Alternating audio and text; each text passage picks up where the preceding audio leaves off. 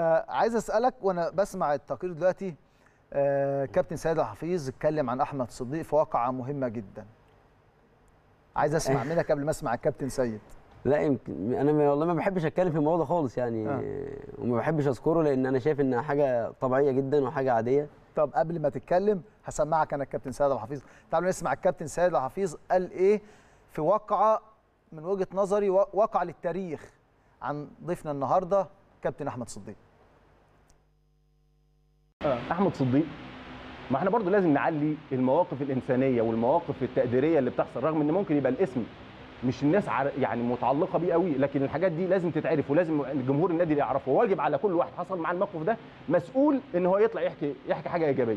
آه. آه. أحمد صديق ده سنة 2013 أحمد صديق ده. الباك اليمين بتاعنا الباك اليمين ده. آه. اللي هو دلوقتي يعني مثلا ماسك آه، أكاديمية الأهلي في في دبي. أحمد صديق ده آه. في 2013 كان عندنا ضائقه مالية بحكم الثورة والإلغاء الدوري والحاجات اللي هي كانت موجودة في الزمن ده. آه. فقعدنا في لجنة الكورة خدنا قرار إن 15% 15% من العقود تنزل. اتكلمت مع اللعيبة يعني 90% أو 92% وافقوا. ما عدا بعض الأسماء وأنا لحد ما أموت عمري ما هقولها. خمس ست أسماء تمام؟ عمري ما هقولهم. أحمد صديق ده كان من الناس اللي آه، اللي اتنازلت عن 15% تاني يوم كنا مسافرين الجونة نلعب مباراة الزمالك اللي هي بتاعت 4 2 كان في قايمة لازم ناديها لاتحاد الكورة في اليوم ده. فتم استبعاد كان المدير الفني محمد يوسف. فتم استبعاد أحمد, أحمد صديق. صديق. وهو لسه ماضي امبارح على على التنازل. على التنازل. فجالي أبو تريكة. آه. كنا في الأتوبيس رايحين المطار. آه. قال لي يا سيد يعني الواد يتنازل امبارح مثلا ونمشيه النهارده. موت وخرب ديار أنا عقلتها في دماغي مع إن والله دي ما كانت الحسابات ابدا. آه. رحت ماسك التليفون ومكلم صديق قلت له تعالى خد الورقة بتاعتك التنازل دي وتاخد ال 15% أقسم بالله الواد أول رده قال لي أنا بتنازل للنادي الأهلي مش بتنازل عشان اتأيد ولا ما اتأيدش الله ده عليك. موقف للتاريخ. الله. يتقال. ده موقف للتاريخ. تعليقك.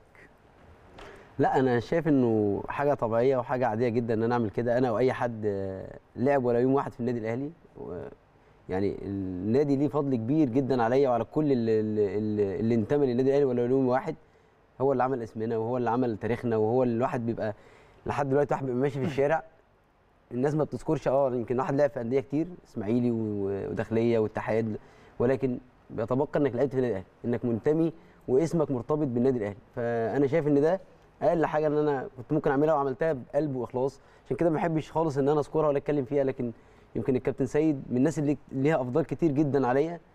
آه، يمكن هو ذكر بالك أنت النهارده بقولك من 2013 والحلقة دي غالبا كانت 2019 2000 آه، 2020 حاجة زي كده، حاجة. كده يعني بعدها بسبع سنين. يعني في ش- آه، 2020 يعني أنت بتتكلم بعد سبع سنين الكابتن سيد حفيظ بيحكي هذه الواقعة. يعني اللي أنا شايفها هتفضل متسطره بحروف من نور في تاريخ كابتن أحمد صديق. لا والله يا اسامه يمكن أنت عارف الواحد كان حلم لأي حد إنه يكون في النادي الأهلي حتى لو كان لو ما كانش ياخد فلوس خالص. لكن الواحد الحمد لله خد بطولات وخد فلوس كويسة و... وخد حب الناس وده كان أهم حاجة بالنسبة لي. فأنا شايف إنه موقف آه، أقل من الطبيعي إن الواحد ممكن يعمله. أنا شايف إن حاجة عادية حتى ما بحبش إن إحنا نتكلم ما جالكش حتى والله. لحظة أنا ماشي ومخصوم مني امبارح 15% النادي الأهلي وهو بيطلب مني والنادي الأهلي في ضائقة مالية وقتها كان ثورة وتوقف الدوري لا ده أنا أطلب بال 15% وحقي. ده خالص والله ما حصلت. يمكن يمكن كمان يعني إضافة للكلام الكابتن سيد إنه بعد ما رجعوا من الم- من المباراة آه،. جابني عنده المكتب. آه. وفعلا جاب لي الورقة أو اتكلم معايا. قلت له يا كابتن خلاص أنا الموضوع بالنسبة لي إن أنا اتنزلت للنادي الأهلي مش حبا للنادي الأهلي مش إن أنا موجود آه، أو عشان أتأيد أو أمشي ولا الموضوع ملوش علاقة خالص. فزي ما بقول لك أنا شايف وما كنت يعني أكيد ما كنتش أنا بس لوحدي عملت كده. في لعيبة كتير قوي عملت كده. والواحد لو يقدر يعمل أكتر من كده أكيد هيعمل أكتر من كده. وده موقف محترم خاصة كمان إن الأرقام وقتها اللي كانت بتدفع للعيبة مش زي الارقام دلوقتي كمان.